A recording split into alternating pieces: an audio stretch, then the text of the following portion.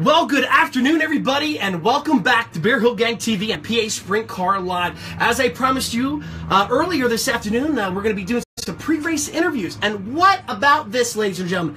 The voice of the Williams Grove Speedway, Mr. Bruce Ellis, joins me. Bruce, thank you for taking some time and uh, joining us here at uh, PA Sprint Car Live. Well, thanks for having me. Absolutely. I tell you what, a lot of excitement is in the air. It took about three years, but it looks like we're going to get all three days in of the National Open. It's too early to say that. Okay. Even though the weather forecast looks great, but I mean, I think we're going to have a really beautiful weekend, and certainly it is excellent tonight. Absolutely. We have a great field of cars uh, in the pit area so far, ladies and gentlemen. I think my last count, uh, we were up to around about 47 to 48 410 sprint cars in the pit area, and that's always great to see. Absolutely, and when you get 47 or 48 here, you know you're getting the best in the business. Absolutely. I mean, you have uh, uh, uh, good invaders. Uh, obviously, James McFadden. Believe it or not, this is James' uh, very first National Open. Certainly a candidate for the Rookie of the Year award, sponsored by the Beer Hill Gang. Uh, yes, sir. And, uh, you know, all, uh, Brian Brown is here. Good to see both Madsens are here. You know, Ian Madsen, this is uh, his first race here at the Grove.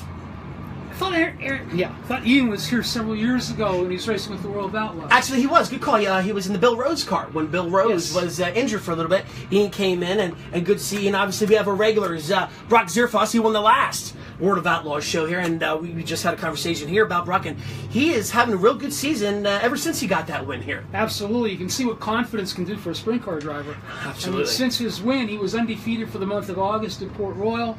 Uh, he won again here. He's had several podium finishes in big races, so he is to be taken seriously from now on. Yeah, absolutely, he is a force to be reckoned with. Now, real quick, Bruce, the uh, let's get a little background for some folks that quite don't know you. Uh, how long have you been here announcing at Williams Grove? This is actually my 30th anniversary. Wow. Announcing at Williams Grove. I've been here since 1982. I started out as the publicity director. but, Right. uh, my first race that I announced was actually the National Open in 1987. So this is my 30th anniversary. Now, uh, when I interviewed you last year at Knoxville, you said pretty much one of the greatest memories of the National Open was when Fast Freddie Rahmer got that win. Besides that, what other moments of the National Open stick out in your mind?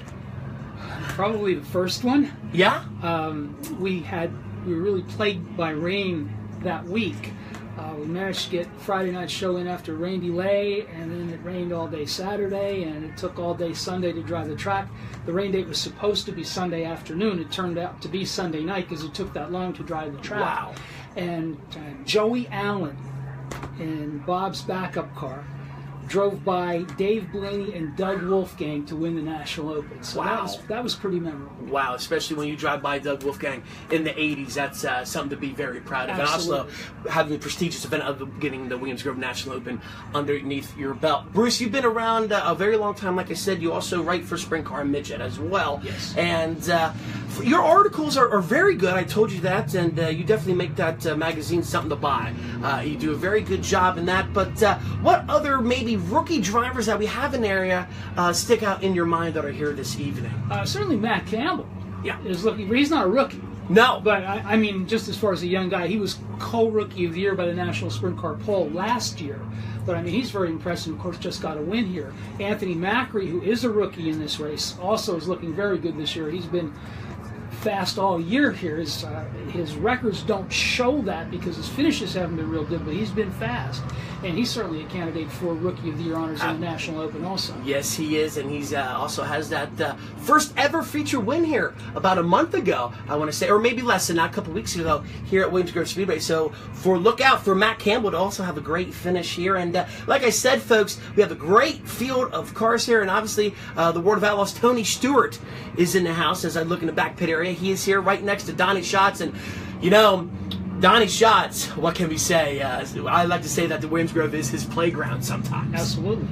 Yeah. 19 career wins here and a limited amount of starts. You mentioned Tony. I believe he's a rookie for the National Open. He too, is a rookie. Uh, Tony Stewart does have one career win here. However, that is in the 360 Yes. division. But yeah, believe it or not, Tony Stewart Smoke is eligible for the National Open Rookie of the Year award. Obviously, Bruce Ellis is joining me here, ladies and gentlemen, a National Sprint Car Hall of Famer. And like I told you, you absolutely deserve that, and you are very excited to be inducted in the Hall of Fame. Oh, absolutely. It's it's a great honor for anyone to be inducted into the National Sprint Car. Hall of Fame. It certainly was a career highlight for me. Absolutely. Well, Bruce, I'm going to let you get uh, back to take your notes. Take, thank you for taking some time. Thank you for having me. Ladies and gentlemen, Bruce Ellis, the voice of Williams Grove Speedway.